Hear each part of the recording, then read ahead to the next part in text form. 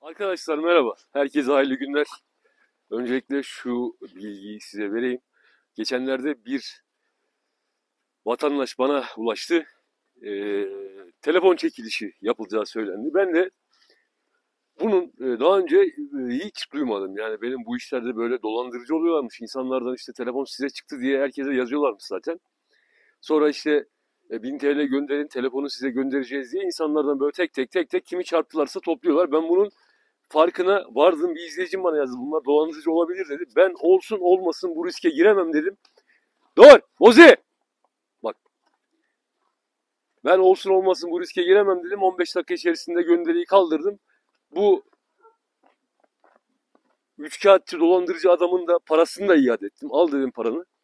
Sen dolandırıcısın değilsin bilmiyorum ama dedim ben bu riske giremem. Sonra bunu hikayemde paylaştım arkadaşlar. Bunlar dolandırıcılar. Herkese böyle böyle yazıyorlarmış. Size yazarlarsa cevap dahi vermeyen ekstradan bir canlı yayın yaptım. Şu anda insanlara tek tek bana yazanlara bunların dolandırıcı olduğunu da söylüyorum. Yani e, bir 15-20 dakika bir hataya düştük. Bilemedik. E, Bunu buradan söyleyeyim. Bunlar dolandırıcılar arkadaşlar. E, Birkaç arkadaşla ben bunlara işlem yaptıracağım. Savcılığa belirteceğim vesaire. Yani Allah'tan erken döndük. Yani bunun e, böyle olduğunu farkına vardık. Allah'tan erken döndük. E, en azından insanları uyarmış oldum. Bunun bilgisini vereyim arkadaşlar. Kusura bakmayın yani ben böyle bir şey olacağını hiç tahmin edemezdim. Bu telefon çekilişleri, bu çekilişler demek ki böyle insanları hep dolandırıyorlar. Bunu da ben bu sayede öğrenmiş oldum. Sizler de bu sayede bunu öğrenin. Size yazılırsa telefon size çıktı diye. Çünkü herkes yazıyorlar. Herkesten de 1000 lira işte telefonu göndereceğiz 1000 lira verin diye. İnsanları dolandırıyorlar. Bunun Bugün bilgisini şarj cihazı gayet iyi arkadaşlar. Akümü sıfır gibi doldurmuş. Götürdüm sabah akümü taktım. Bastım araba tak diye aldı. Bundan sonra inşallah çekmez. Çekse bile artık elimizde e, şarj, şarj cihazımız var. O yüzden böyle bir problemle karşılaşırsak en azından köyde işimizi halledebiliriz. Yani yolda molda bir yerlerde kalırsak artık onu arabadan bulundurmak lazım veya işte yani köyde olduğu zaman yollar kapalı olduğu zaman sıkıntı oluyor. Köyde işimiz yarar. Zaten bu şeyden sonra da çok aküye bir şey olacağını sanmıyorum. Yani atıyorum bir ay sonra gene aynı problem çıkabilir belki. O zaman gene kullanırız.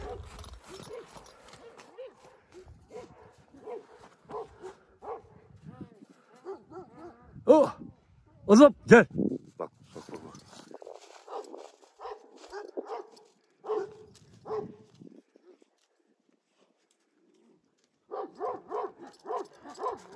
Erkek ya.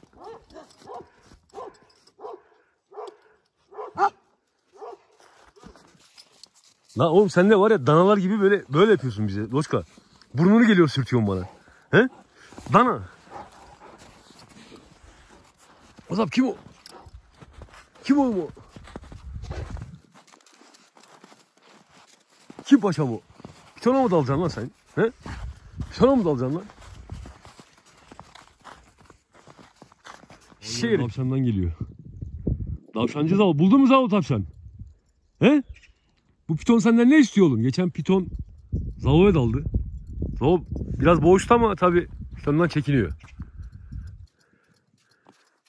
Çılgın Zavuşki. Kim bilir kaç tane tavşanın ocağına batırdın geldin. Ayı Zav.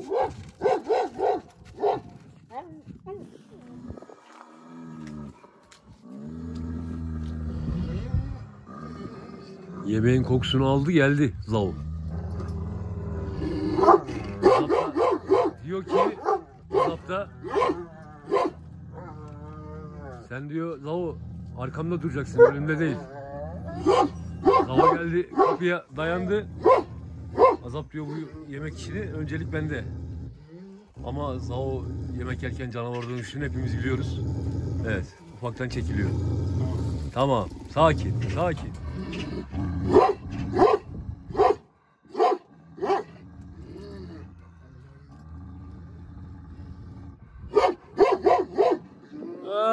Ne biçim ses var ya Azat sende ya bu sesin var ya. Ha Doçka ya. Ulan eşek ne adam. tamam sakin sakin sakin.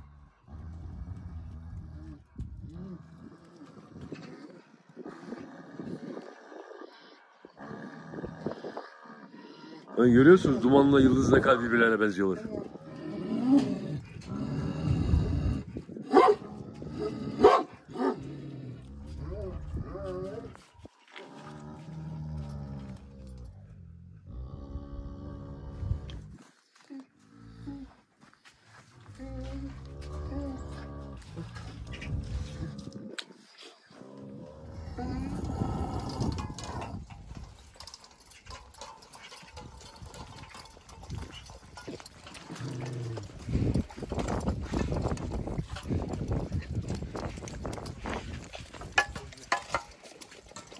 Oo Zavo doyurdun karnını değil mi?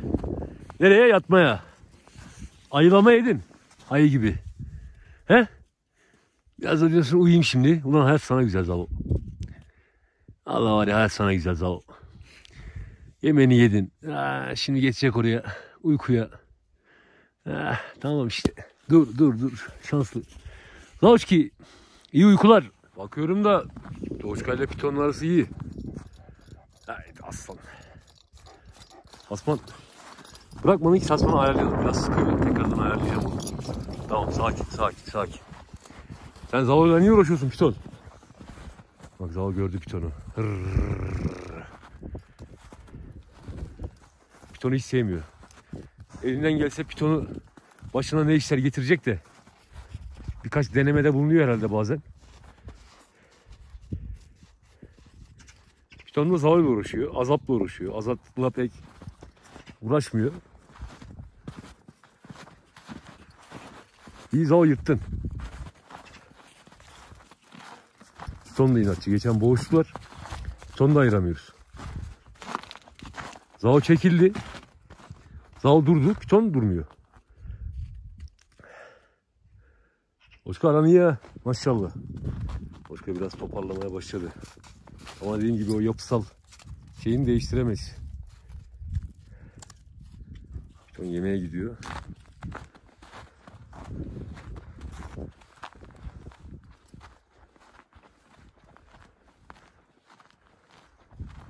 Piton tasmayı bir tık daha açalım.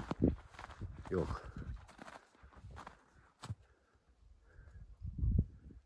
Bağlarken açalım. Akü neredeyse bitmişti. Marşa bastığım zaman e, böyle gibi gibi gibi yani dönmüyordu, çevirmiyordu. Şimdi size göstereceğim. Şöyle bir benim kızdırmalar ayrı arkadaşlar. Şurada bir kızdırma var. Oraya basıyorum. Oradan kızdırma yapıyorum. Ben marş motorunda sıkıntı olabileceğini düşündüm. Gördüğünüz gibi akü çok güzel bir şekilde dolmuş. Arabayı yukarı çekeceğim, yerini alacağım. Şöyle birkaç dakika çalışsın. Sizce Faça bozi olur mu arkadaşlar? Ya da Paşa bozi. Ahmet arkadaşım Fransa'da bana böyle yap diyor. Ben bunu size soruyorum. Şöyle söyleyeyim yani Bozi'nin kangal tipli olduğunu söylüyoruz ama Bozi'nin anneyi görmedik, babayı görmedik. Bu yüzden buna çok sıcak bakmıyorum. Ama derseniz ki Paşa Yıldız ona söyleyecek bir söz yok. Zaten onlar böyle makina gibi, Robocop gibi inşallah nasip olursa yavrular verecektir. Ee, bu dönem e, Bozi hakkında hala tam kararımı veremedim ama birçok arkadaşımızın e, Piton Bozi'yi bozma. Piton Bozi çok iyi olur diye söylüyorlar. Bir yandan Azap'ın yaşlanma durumu işte ondan alabildiğimiz kadar çok yavru alalım diyoruz. Ama şu anda çok şükür Azap'ın bir oğlu var. Azat. Bir oğlu daha var. Küçük Azap. İnşallah Gurce'nin memeleri süt dolmuş. Ee, Gurce'nin yavruları olursa ki Azap'tan olacağını düşünüyorum. Ee, çünkü Azap'la kızandayken 2-3 gün sürekli yan yana kaldılar. Bu yüzden büyük ihtimal Azap eşleşmiştir. Nasıl daha önce bizim Azat'ta olan durum Yıldız e, Azap'la da eşleşti. Sonra Doşka araya kaynadı. Ama yavrular Azat'tan tuttu ilk eşleşmeden yani e, ilk olan eşleşmede yavrular Azap'tan tuttu. Bu sefer de dediğim gibi Azap görmedik ama Azap'ın eşleştiğini düşünüyorum. Kesinlikle eşleşmiştir. Doşka.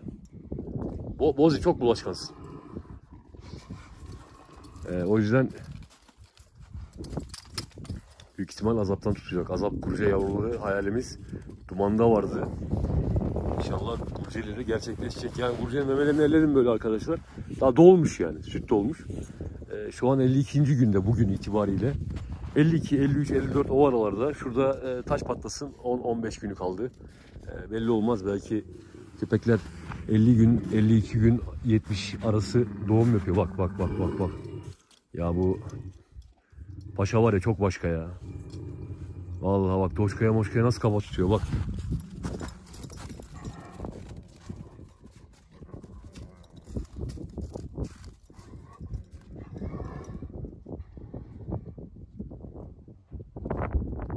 Herif herif.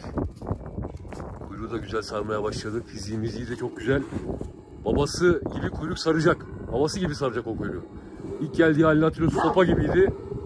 Şimdi kuyruğu kaldırıyor. Sırtına veriyor. E zaten Yıldız'la Yıldız'ın e, kuyruk olayı büyük ihtimal çok baskın. Kuyruk işi. Yıldız Paşa Alın size mermi gibi sapkanlar arkadaşlar. Yani şöyle söyleyeyim gerçekten diyorum Yıldız Paşa eee, hele hele o paçanın tipini, yıldızın fiziğini oturtturduğumuz zaman gerçekten yarışmalı köpekler çıkacak. Çok harika sapkanlar olacaklar. Yani bunu size şimdiden söyleyebilirim. Yıldız'ın bakalım kızına ne zaman gelecek? Paşa eşleşebilecek mi? Paşa şu an 10 aylık. Yıldız bir iki aya gelse Paşa olur bir yaşında. İnşallah e, bakalım duruma göre ne kadar kalacak. Ona göre e, bizim Sultan kızana gelirse Sultan'ı da Paşa'ya çekebiliriz. Şey çok e, söyleniliyor bana. Ya diyor ki aslında çok e, harika bir fikir. Gerçekten böyle müthiş yavrular çıkar. Yıldız'la Piton'u ama e, dediğim gibi Yıldız safkan arkadaşlar. Yıldız'ı safkan köpeklerle, kangallarla eşleştirmek lazım. Ama Yıldız Piton olursa düşünsenize şöyle bir 87-88 santim Yıldız gibi böyle yürüyen fiziği, kuyruğu her şeyi 10 numara kangal tipli bir şey çıktığını. Ama dediğim gibi çok sıcak bakmıyorum. Olaya çok sıcak bakmıyorum. Yıldız'ı kangallarla, iyi kangallarla eşleştirmek lazım.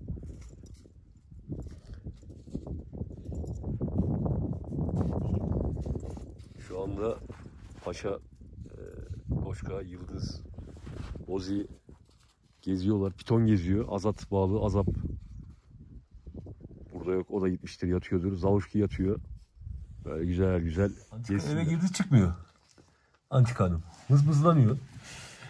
Şuradan tutup işte bak gördünüz mü? Dışarıda çıkaramıyoruz. Ağlıyor, bağırıyor. Fındıkım ama gerçekten antikada bir tuhaflık var arkadaşlar. Antika durgun. Yani bugün hiç dışarı çıkmadı.